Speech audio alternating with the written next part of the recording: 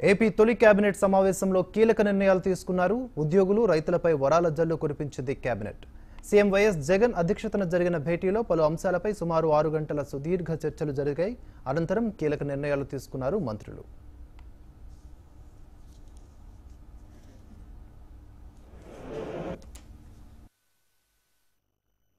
October నుంచి రైతు భరోసా అమలు పథకం అమలు చేయడానికి రాష్ట్రపతి వర్గం రాష్ట్ర మంత్రి వర్గం నిర్ణయించింది. రైతులకు వడ్డీ లేని రుణాలు అందించేందుకు కొత్త పథకం తీసుకురాబోతోంది ఏపీ సర్కార్. అటు ఆశా వర్కర్లు కమ్యూనిటీ వర్కర్లు హోంగార్డులు పారిశుద్ధ్య కార్మికుల జీతాలను పెంచుతూ ఏపీ కేబినెట్ నిర్ణయం తీసుకుంది.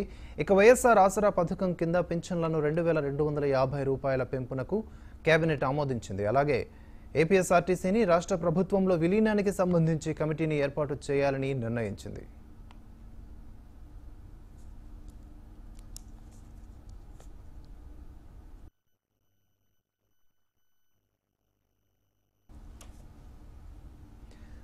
గత ఐదేళ్ళలో శాఖల వారీగా జరిగిన తప్పిదాలు పరిశీలించాలని మంత్రులకు ఏపీ సీఎం జగన్ ఆదేశాలు జారీ చేశారు. ప్రభుత్వ టెండర్లు ప్రభుత్వ నిర్ణయాలను జ్యుడిషియల్ కమిషన్ పరిధిలోకి పరిశీ పరిశీలనతో ప్రజల ముందు ఉంచాలని ఏపీ మంత్రివర్గం నిర్ణయం తీసుకుంది. మంత్రులపై అవినీతి ఆరోపణలు వస్తే ఉపేక్షించేది లేదని జగన్ వెల్లడించారు.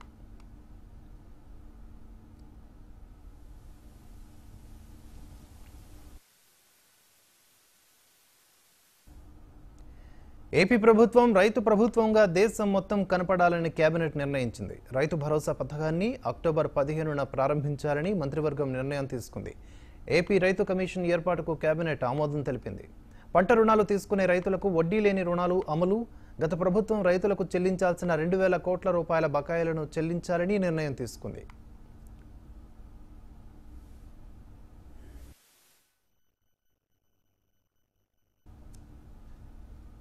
రాష్ట్రంలో ఇల్లు లేని వారికి ఇళ్ళ స్థలం ఇవ్వాలని నిర్ణయం తీసుకుంది కేబినెట్ రాబోయే నాలుగేళ్ళలో ఇరవై ఐదు లక్షల పక్కా ఇళ్ళ నిర్మాణ నిర్మాణానికి కేబినెట్ ఆమోదం తెలిపింది. జనవరి ఇరవై ఆరు నుంచి అమ్మఒడి కార్యక్రమం అమలుతో పాటు ఉద్యోగులకు ఇరవై ఏడు శాతం మధ్యంతర భృతి ఇచ్చేందుకు అంగీకారం తెలిపింది.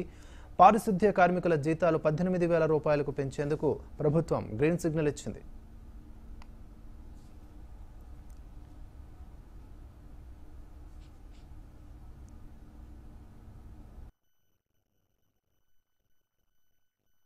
ఈ రాష్ట్ర యువ ముఖ్యమంత్రి జగన్మోహన్ రెడ్డి గారి నాయకత్వంలో జరిగినటువంటి మొదటి కేబినెట్ సమావేశాలలో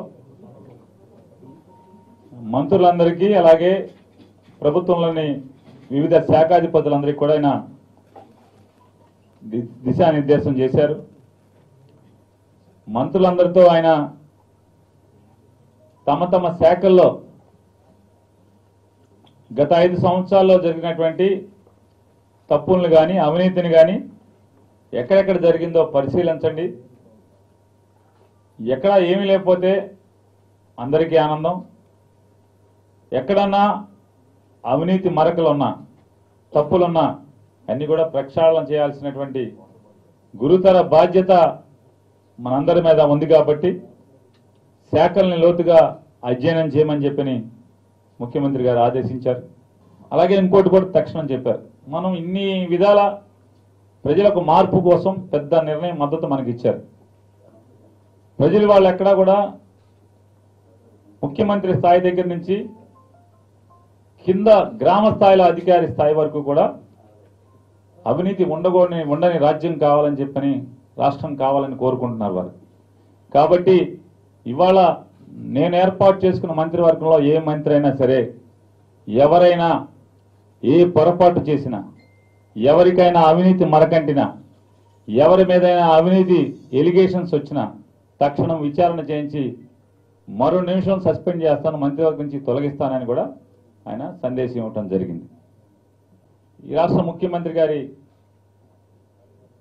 రైతుల పట్ల ఆయన ప్రకటించినటువంటి నవరత్నాల్లో ఒకటిగా ఉన్నది మనందరికీ తెలుసు. అక్టోబర్ పదిహేనో తారీఖున ప్రారంభం చేయబడడం జరుగుతుంది. ఈ పథకం కింద ప్రతి రైతుకి పన్నెండు వేల ఐదు వందల రూపాయలు అందజేయడం జరుగుతుంది. రాజశేఖర రెడ్డి గారి పేరు మీద మొదటి సంవత్సరం అంటే జగన్ గారి ప్రభుత్వం ఏర్పాటు చేయబడినటువంటి మొదటి సంవత్సరంలో అర్హత కలిగిన ప్రతి ఒక్కరికి ఇళ్ళ స్థలాలు పంచిపెట్టి రెండవ సంవత్సరం నుంచి రాబోయే నాలుగు సంవత్సరాల్లో కూడా పాతిక లక్షల ఇళ్ళని నాలుగు సంవత్సరాల్లో ప్రతి ఒక్కరికి కూడా ఇళ్ళ నిర్మాణం చేయాలని చెప్పని దాన్ని రాజశేఖర రెడ్డి గారి పేరు మీద ఇంటి నిర్మాణ కార్యక్రమం పక్కా ఇళ్ళ నిర్మాణ కార్యక్రమం కూడా చేయాలని చెప్పని కూడా కేబినెట్ నిర్ణయం జరిగింది. ఏ తల్లి అయితే ఆర్థిక బాధలు కోర్చి పిల్లల్ని కూలీలుగా తయారు చేయకుండా కష్టాలను దిగమింగి పిల్లల్ని బడికి పంపించే ప్రతి తల్లికి ప్రోత్సాహకరంగా అమ్మఒడి కార్యక్రమం కింద పదిహేను వేల రూపాయల వరకు ఆర్థిక సహాయం అందించే అమ్మఒడి కార్యక్రమాన్ని జనవరి ఇరవై ఆరవ తారీఖున ప్రారంభించడం. అదే రోజున రాష్ట్రంలో ఉన్నటువంటి పిల్లల్ని చదివించేటువంటి ప్రతి తల్లికి కూడా విద్యా మన గ్రామ వాలంటీర్ల ద్వారా చెక్కుల్ని తల్లికి అందజేయటం జరుగుతుంది. ప్రతి తల్లికి కూడా అనేది జనవరి ఇరవై ఆరో తారీఖున అని చేయాలని చెప్పని కేబినెట్ తీర్మానం చేయడం జరిగింది. రాష్ట్ర ప్రభుత్వ ఉద్యోగస్తులందరికీ కూడా జూలై ఒకటో తేదీ నుండి ఇరవై ఏడు శాతం మధ్యంతర వృత్తిని అమలు చేయాలని మంత్రిమండలం నిర్ణయించింది. దీనివల్ల రాష్ట్ర ప్రభుత్వానికి ఎనిమిది వందల పదిహేను కోట్ల అదనపు వ్యయం అవుతుంది. తద్వారా నాలుగు లక్షల ఇరవై నాలుగు వేల మంది ఉద్యోగస్తులకి లబ్ధి చేకూరుతుంది. చేకూర్చాలని చెప్పని రాష్ట్ర మంత్రి మండలి నిర్ణయం తీసుకోవడం జరిగింది. డ్వాక్రా మహిళా సంఘాలకి పొదుపు మహిళా సంఘాలకి సేవలు అందిస్తున్నటువంటి యానిమేటర్లు లేదా బుక్ కీపర్లు రకరకాల ఒక చోట ఒక రకంగా అంటారు. రిసోర్స్ పర్సన్ అంటారు మున్సిపాలిటీలో అయితే. వీరందరికీ కూడా పదివేల రూపాయలు గౌరవ వేతనం ఇవ్వాలని చెప్పని కూడా మంత్రి మండలి నిర్ణయించడం జరిగింది. అంగన్వాడీలు అంటే అంగన్వాడీ వర్కర్లు మనం టీచర్లు అంటాం వాడుక భాషలో. ఎలక్షన్స్ ముందు పాదయాత్రలో చెప్పారు జగన్ గారు. తెలంగాణ ప్రభుత్వం కంటే వెయ్యి రూపాయలు ఎక్కువ ఇస్తాను అని చెప్పారు. పదకొండు వేల ఐదు వందల రూపాయలు వీరికి ఇవ్వాలని చెప్పని మంత్రిమండలి నిర్ణయించడం జరిగింది.